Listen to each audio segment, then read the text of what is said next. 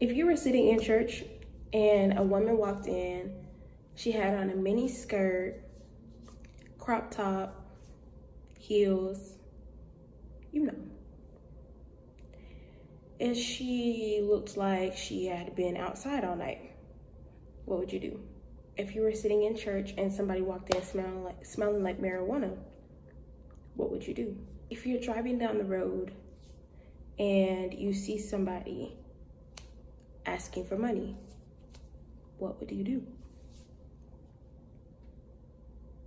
I ask these questions because if your answer to any of those questions was anything other than welcome them, you have not really become a true believer.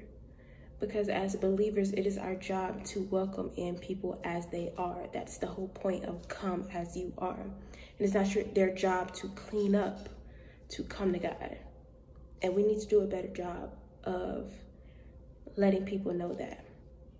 Because if we're afraid of sinners in their sin, then who's going to talk to them while they're in their sin?